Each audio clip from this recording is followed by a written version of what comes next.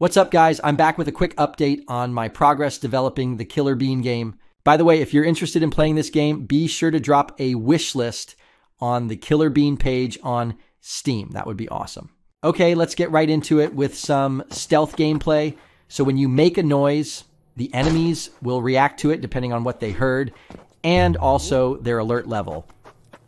What's that noise? Since this was a gunshot, their awareness goes up quickly. Hey, what's going on over there? The enemies pretty much say what they are thinking. hide and seek? So if they are searching for you, they'll say that. It's all good, guys. He's gone. And they'll also say when they give up the search. Thought I saw something. Maybe I'm just paranoid.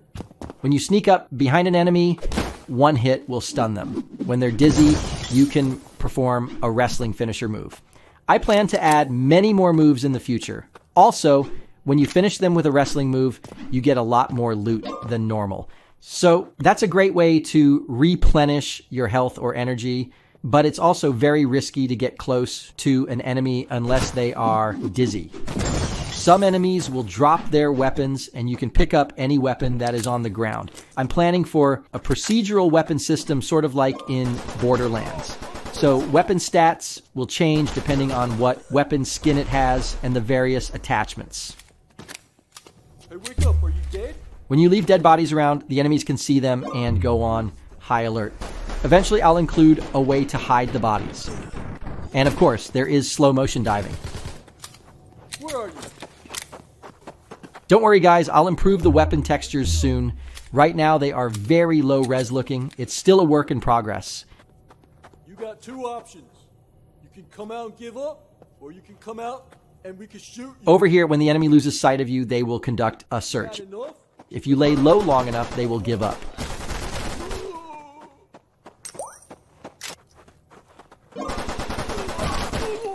Something over there? It's best to play this game with headphones so you can hear which direction the enemies are when they talk. This is good if you don't have the sonar skill to see enemies behind walls. You can also hear where their footsteps are and how close they are to you. Here's an example of a procedurally generated gun. Right now it behaves the same as the other guns, but eventually I'm going to add different types of ammo like elemental ammo, like fire, ice, electric, corrosive, poison, explosive, um, things like that. Oh, yeah, I also added slow motion sliding. Keep in mind that slow motion does deplete your energy. So does the sonar skill and special moves like breakdancing. So you won't be able to spam slow motion all the time. Come on out so we can play. Oh, I'm gonna find you.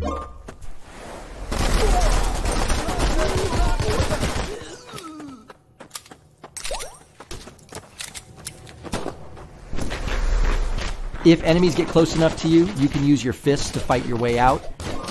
Why? Oh yeah, you're gonna love When you are about to die, everything goes black and white. So this is the near death mode. One more shot and you're dead. So you have to be really careful here. Picking up some health will get you out of near death mode, and ideally, doing a finisher move would get you lots of health and energy drops. But unfortunately, here, I didn't pick any up.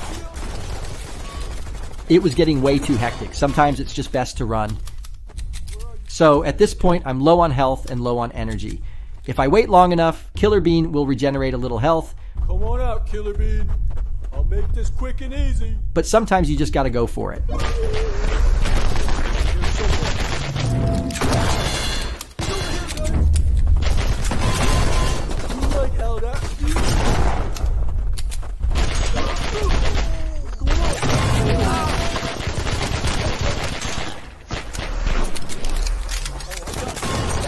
Oh man. Right here I messed up. I was trying to do some melee combat, but I think I missed the melee key.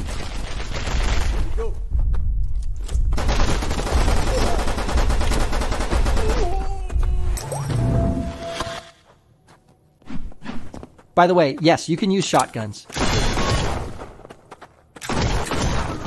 And yes, there will be bugs, especially with the ragdolls. But everybody loves ragdolls.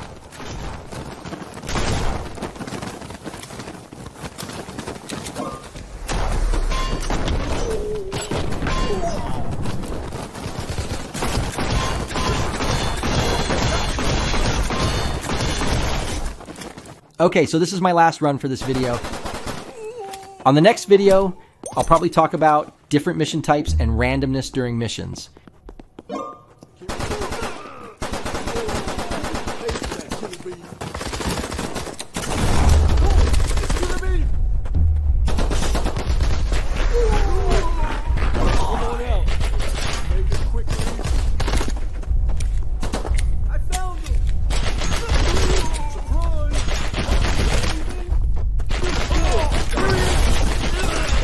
Oh crap, gotta hide for a while. Let's do this. Where are you? Oh damn. Yeah, baby. What the heck? More bugs? Oh, that was a good shot. Okay guys, that's it for this video and don't forget to wishlist Killer Bean on Steam. See you next time.